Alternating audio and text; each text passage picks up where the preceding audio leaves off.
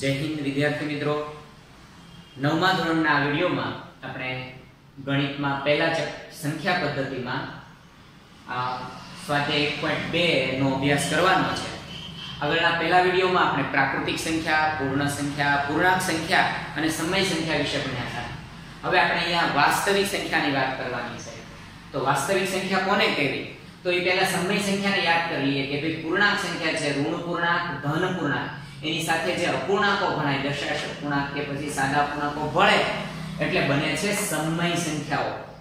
હવે આ સમય સંખ્યા છે તો અસમય સંખ્યા કોને કહેવી તો કે જે સંખ્યાને p પૂર્ણાંક અને q શૂન્યતર પૂર્ણાંક માટે p છે, q સ્વરૂપમાં મૂકી ન શકાય, તેવી સંખ્યાને અસમય સંખ્યાઓ કહેવી દાખલા તરીકે વર્ગમૂળમાં 2 વર્ગમૂળમાં 3 વર્ગમૂળમાં 15 પાઈને પણ અસમય સંખ્યા કહેવાય. ટૂંકમાં વર્ગમૂળમાં લખી હોય કોઈ સંખ્યા અને વર્ગમૂળ ન નીકળી શકતું હોય.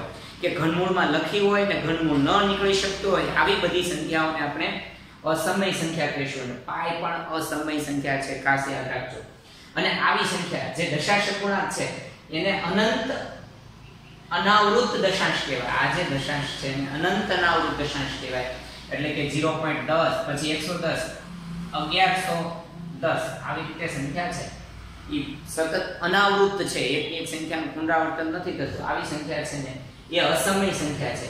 તો જો આ સમય સંખ્યા આ સમય સંખ્યા ઉપરની છે, એની સાથે આ અસમય સંખ્યાને ભેળવી દો એટલે બની જશે વાસ્તવિક સંખ્યા. વાસ્તવિક સંખ્યા એ મોટા મોટો સમૂહ છે સંખ્યાઓનો, જેની અંદર બધી સંખ્યાઓનો સમાવેશ થઈ જાય છે. પ્રાકૃતિક પૂર્ણ, પૂર્ણાંક, સમય, આ બધી સંખ્યાઓ છે વાસ્તવિક સંખ્યામાં આવી જાય છે. ટૂંકમાં, વાસ્તવમાં જે સંખ્યાઓ છે એ બધી જ વાસ્તવિક સંખ્યાઓ. એટલે અહીંયા એમ કહી શકાય કે સમય વત્તા અસમય સંખ્યા એટલે વાસ્તવિક સંખ્યા. હવે એટલો અભ્યાસ કર્યા બાદ આપણે સ્વાધ્યાય એક પોઈન્ટ બે નો દાખલા નંબર પહેલો જોશું.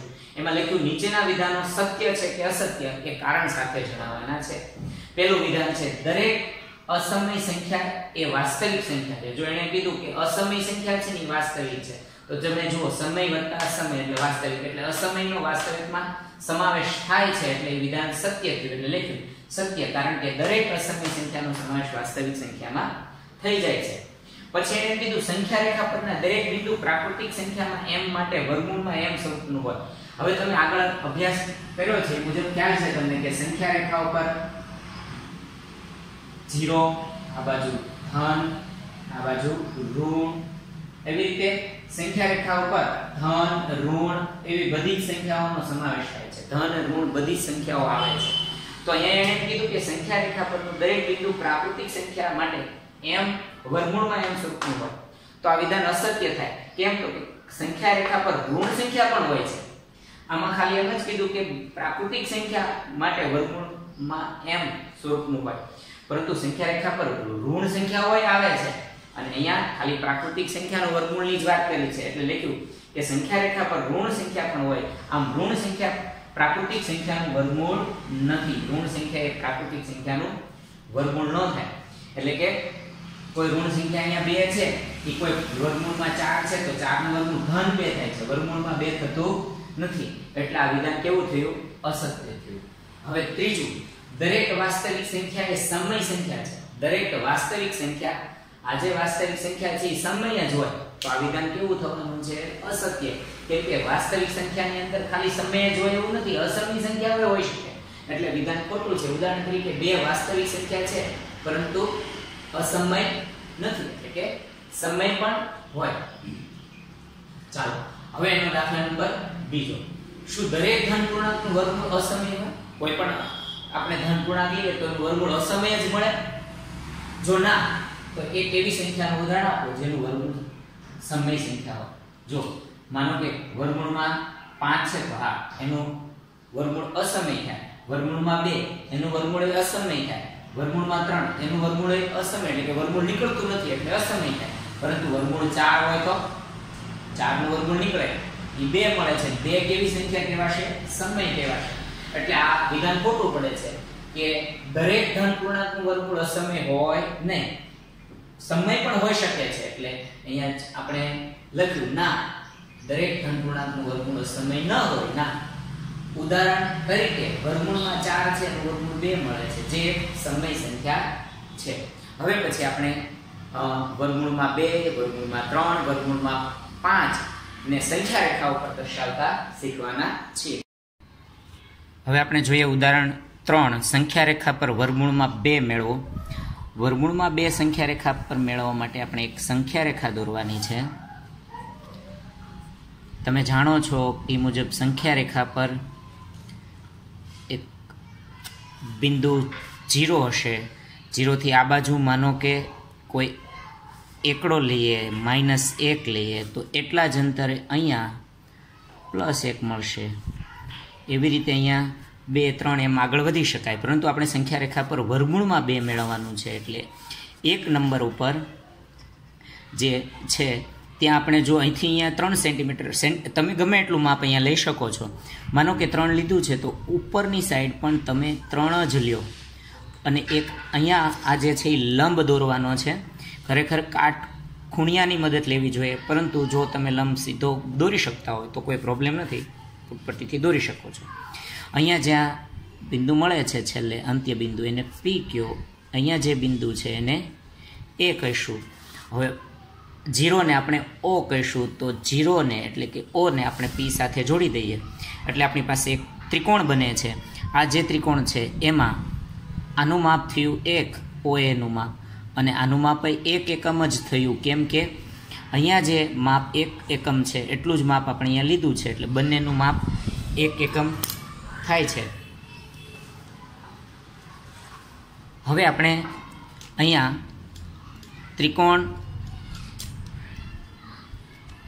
ઓ એ પીમાં ખૂણો એ કાટખૂણો છે. એટલે પાયથાગોરસના પ્રમેય મુજબ ઓપીનો સ્ક્વેર બરાબર ઓ એ સ્ક્વેર વત્તા એપી સ્ક્વેર પાયથાગોરસ મુજબ જે કાટખૂણો છે, એની સામેની બાજુ કર્ણ થાય એટલે કે કર્ણનો વર્ગ બરાબર બે બાજુનો વર્ગોનો સરવાળો. એટલે કે ઓ એ એટલે એકનો વર્ગ એપી એટલે એકનો વર્ગ એકનો વર્ગ એક વત્તા એકનો વર્ગ એક એટલે એકને એક થશે બે. એટલે અહીંયા ઓપીનો વર્ગ બરાબર થયો બે. તેથી ઓપી બરાબર થશે વર્ગમૂળમાં બે. કેમ કે અહીંયા વર્ગ છે, તો સામે વર્ગમૂળ કાઢીએ એટલે આપણને ઓપી મળી જશે. હવે અહીંયા આપણી માટે ઓપી થયો વર્ગમૂળમાં બે. હવે શું કરવાનું છે? પરિકરની મદદ લેવાની છે. અને ઓપથી પી જેટલું માપ લઈ અને પરિકરથી આપણે અહીંયા આ રીતે ચાપ પાડવાની છે. આ જે ચાપ પડી. જે બિંદુ મળે છે એ બિંદુ અહીંથી ઓપી જે છે, એ વર્ગમૂળમાં બે છે. તો પછી ઓ બી આપણે અહીંયા નામ આપીએ બી બિંદુ અહીંયા. તો ઓ બી ઓથી બીનું માપ પણ વર્ગમૂળમાં બે થાય. તેથી અહીંયા લખી શકીએ આપણે ઓ બી બરાબર વર્ગમૂળમાં બે. આમ સંખ્યા રેખા પર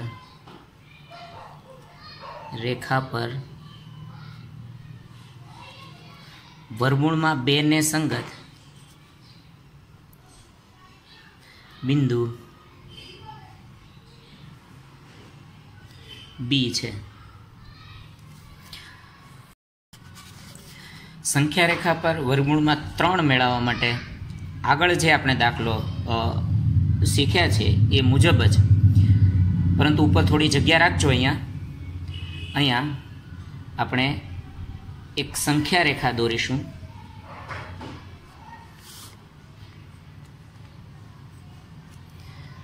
આગળ અભ્યાસ કર્યો એ મુજબ એક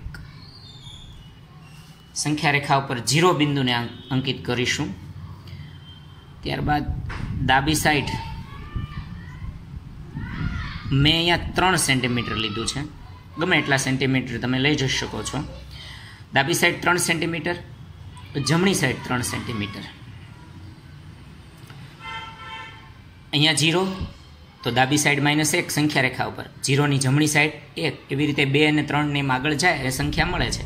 આપણે અહીંયા મેળવવાનું છે વર્ગમૂળમાં ત્રણ. એ માટે જે એક છે આપણે અહીંયા, એ એક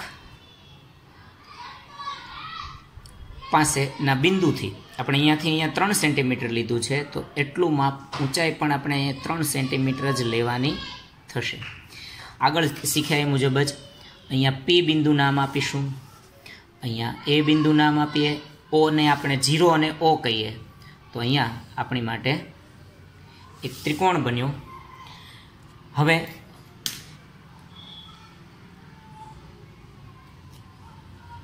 ત્રિકોણ એ ઓ પીમાં ખૂણો એ કાટખૂણો છે.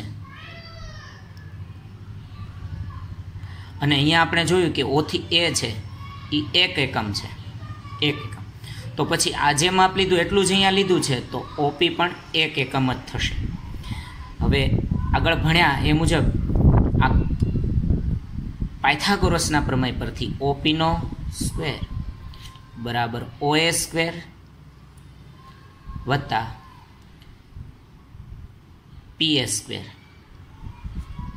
એટલે કે એકનો વર્ગ વત્તા એકનો વર્ગ. એકનો વર્ગ એક વત્તા એકનો વર્ગ એક એટલે બે. તેથી ઓપીનો વર્ગ બરાબર બે. તેથી ઓપી બરાબર વરમૂળમાં બે. એટલે કે વરમૂળમાં ત્રણ મેળવવા માટે આપણે વરમૂળ બે તો મેળવવું જ પડશે પહેલાં અને પછી જ આપણે વરમૂળ ત્રણ મેળવી શકશું. પછી આપણે શું કરવાનું છે? ઓને પી જેટલું ઓથી પી જેટલું માપ લેવાનું છે અને પરિકરની મદદથી અહીંયા આપણે એક ચાપ પાડીશું. એટલે અહીંયા આપણને વર્ગમૂળમાં બે મળે છે. અહીંયા શું કહીશું આપણે? પી કહીશું. હવે કાટકોણ ત્રિકોણ કાટખૂણિયાની મદદથી આપણે આ રીતે અહીંયા નેવુંનો ખૂણો આની સાથે બને. એ રીતે એક ત્રિકોણ દોરીશું.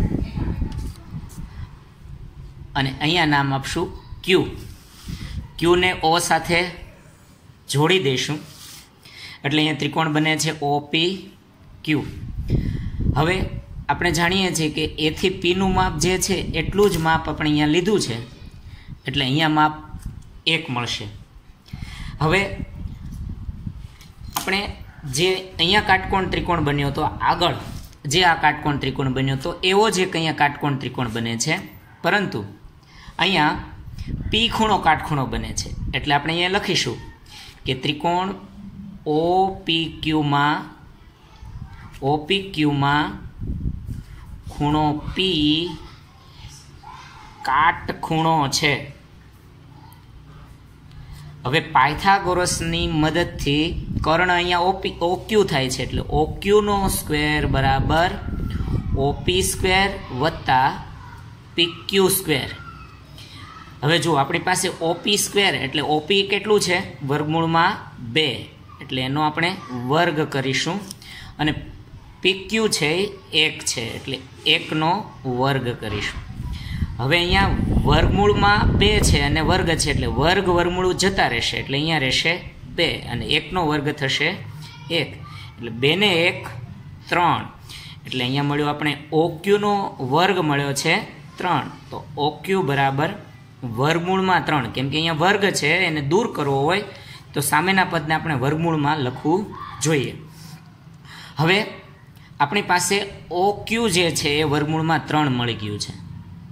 પરિકરની મદદથી આપણે ઓક્યુનું માપ લઈશું, તો આ વર્ગમૂળમાં ત્રણ થયું. ઓથી ક્યુ વર્ગમૂળમાં ત્રણ થયું. હવે આપણે એને આ રીતે ચાપ પાડીશું. એ ચાપ જે આપણી રેખા છે, અને જ્યાં છેદે છે ત્યાં આપણે નામ આપી દઈએ સી અને અહીંયા જે બિંદુ મળ્યું એ સી એ આપણું વર્ગુણમાં ત્રણ માપ થયું. આમ, અહીંયા સંખ્યા રેખા ઉપર કહી શકીએ કે ઓસી બરાબર. સંખ્યા રેખા પર ઓસી બરાબર વર્ગુણમાં ત્રણ. આમ સંખ્યા રેખા પર પર વર્ગમૂળમાં ત્રણને સંગત બિંદુ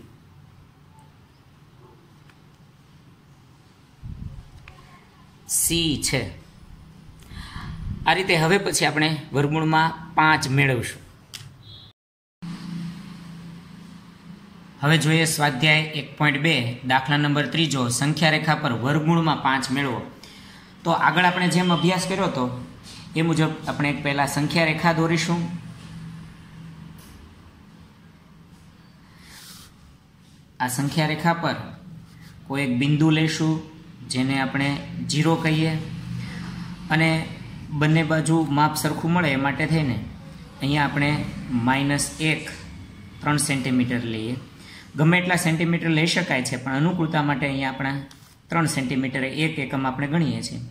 તો એ જ રીતે ત્રણ સેન્ટીમીટર જે આપણે જમણી સાઈડ જઈશું અને બીજા ત્રણ સેન્ટીમીટર જમણી સાઈડ જઈશું. અહીંયા છે એ એક કહીશું, અહીંયા કહીશું બે. અહીંયા આપણે બે છે, ત્યાં બિંદુ બી નામ આપીશું. જીરોને આપણે બિંદુ ઓ કહીએ. હવે, અહીંયાથી અહીંયા જે માપ લીધું છે, એ આપણે છ સેન્ટીમીટર લીધું છે. એટલે વર્ગમૂળમાં પાંચ મેળવવા માટે જે માપ આપણે અહીંયા લીધું હોય, એનાથી અડધું માપ આપણે અહીંયા ઉપર લેવાનું છે. અડધું માપ આપણે અહીંયા ઉપર લઈશું. એટલે ત્રણ સેન્ટીમીટર ઉપર માપ થશે.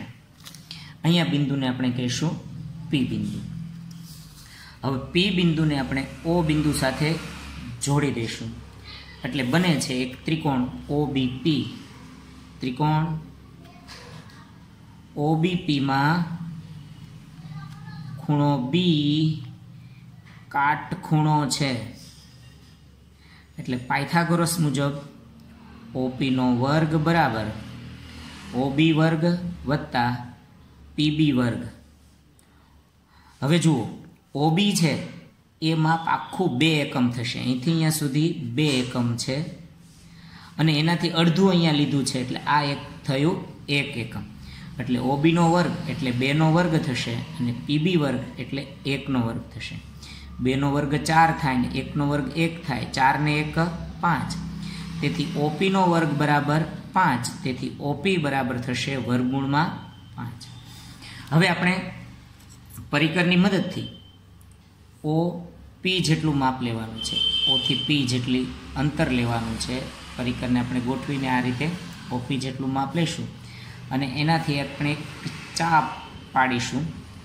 આ ચાપ જ્યાં રેખાને છેદે છે અહીંયા, ત્યાં આપણે નામ આપીશું સી અને અહીંયા ઓપી વર્ગુણમાં પાંચ છે. ઓપી વર્ગમૂળમાં પાંચ છે, તો ઓસી પણ વર્ગમૂળમાં પાંચ થશે.